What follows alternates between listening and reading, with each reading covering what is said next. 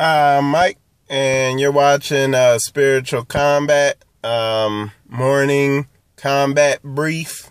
And uh, today, what I'm talking about is uh, some character issues and stuff like that. Um, kind of uh, building a little bit off uh, what I taught on yesterday. But, uh, you know, um, one of the things people need to consider, uh, you got that, I think it's Psalms 1912, uh, where uh, he says, cleanse me of secret faults and, you know, sin and faults that I'm unaware of. And you're talking about this is back in the day. They had all, they had all the whole truth and everything. They were a nation. Um, everything was established as far as uh, how a family was run, all that stuff like that. And, uh, you know, they had a, a, solid understanding of the word. Um, they weren't in a captivity. And he's writing, cleanse me of secret faults. Okay. And the reason I'm bringing that out is you got people today, we're in captivity. Everybody knows they come from broken, dysfunctional families. You know you're not right. Okay.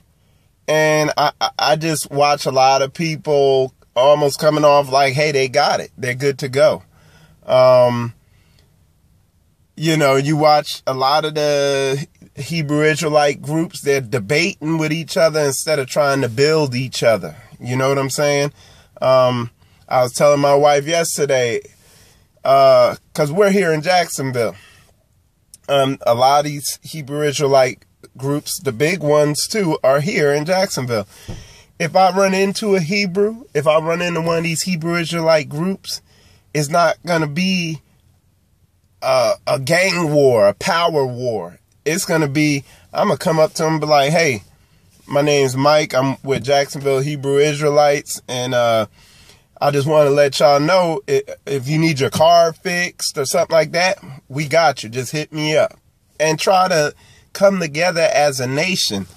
But you see a lot of war, you know, with these groups almost. You know what I'm saying? It's like the wrong, the total wrong mindset from the beginning. You seeing your brother as your enemy. So it's like we're still in that thing. But back to the topic, the fact is, is we have to realize, hey, we, you have, we have character flaws.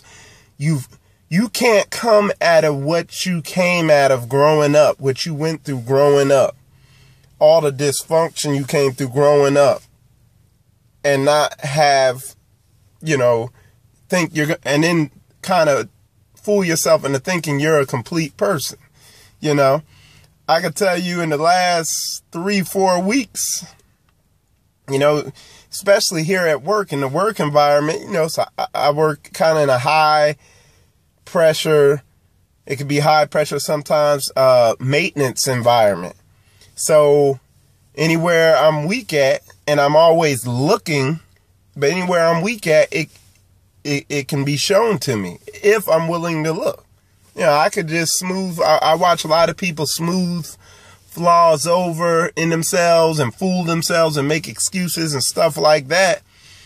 And to somebody who's willing to look at their flaws and you go through the pain and humiliation of realizing, hey, I need to improve in that area. When you see somebody, you can pick up real fast when somebody's making excuses and doing things to try to cover up insecurities and stuff like that. So, and it's like the flesh naturally does it. It's like you do it automatically. Like I do it automatically. I, I, I make myself look at where, hey, okay, where am I at fault in this? Okay.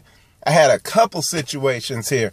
And then, um, where this this was the case where I was I was just trying to comfort myself with my own excuses and stuff like that. And then I had to man up, get tough, and be like, hold on, hold on, hold on, hold on. You know, I know this dude's off, but let's see where I'm off at in this thing. And sure, I looked at the small area where I, I was off at and said, okay, I, I need to get better on this. And afterwards, you feel more empowered. You know what I'm saying? You feel more uh, enlightened or whatever you want to call it on the path. You know what I'm saying? Um, like you can see the path better. You can you can see better. You're not in the dark. You're not in the darkness. And that's book. That's Bible. Like you got to look at yourself. And there can be secret sin. Like who was writing who wrote that verse? What was Israel a nation when they wrote that verse?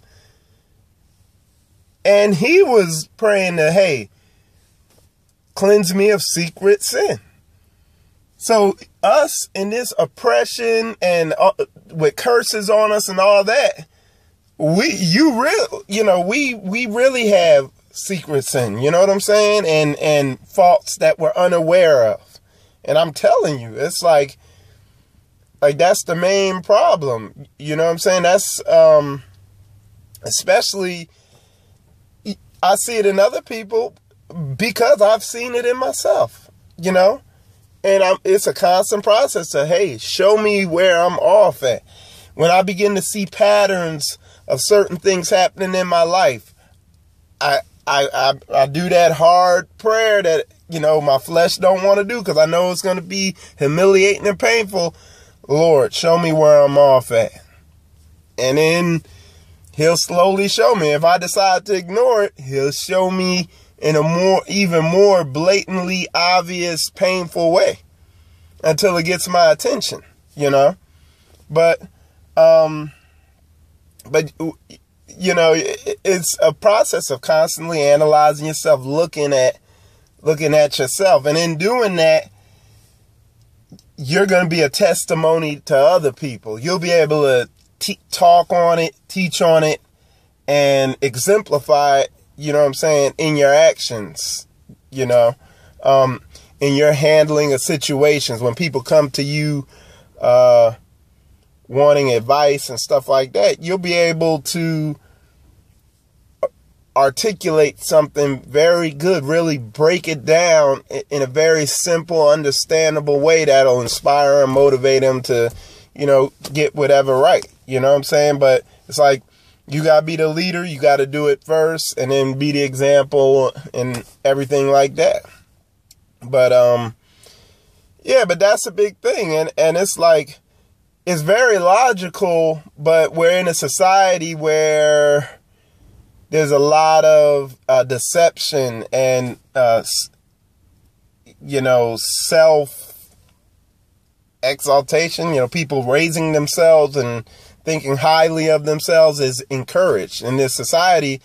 So something as simple as what I'm saying, which is very simple, is like, look, we know we come from a, a, a nation that's uh, that has cursed. We're under those uh, curses of Deuteronomy, those biblical curses.